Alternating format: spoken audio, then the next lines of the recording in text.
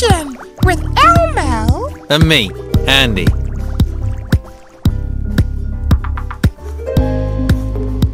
Oh, baby David, Elmo has to go to sleep. But Elmo's not sleepy. Elmo just wants to play. What's that, baby David? You you want to hear another bedtime story?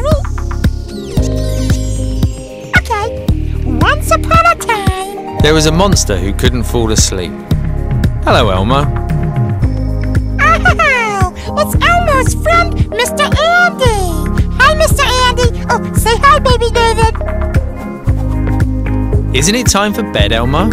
Yeah, it's Elmo's bedtime, but but but Elmo is having trouble falling asleep.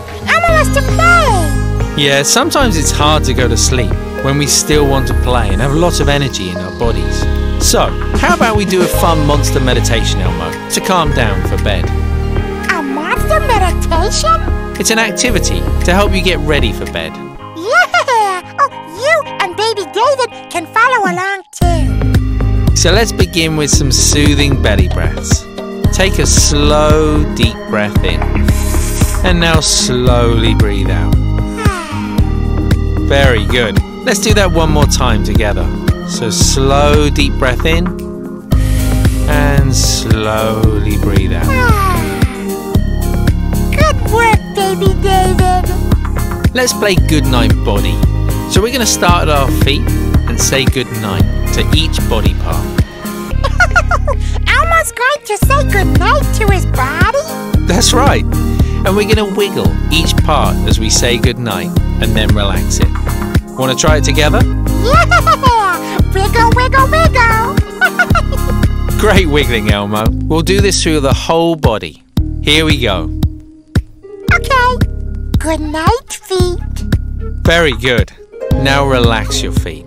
And let's move to your legs. Good night, legs.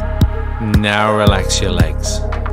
What body part comes next, Elmo? Good night, bottom.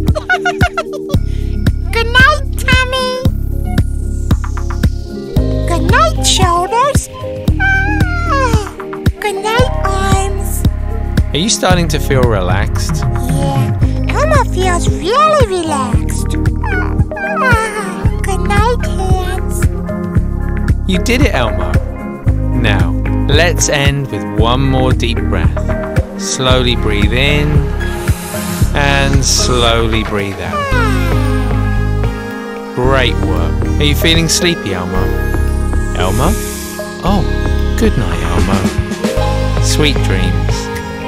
And good night, baby David.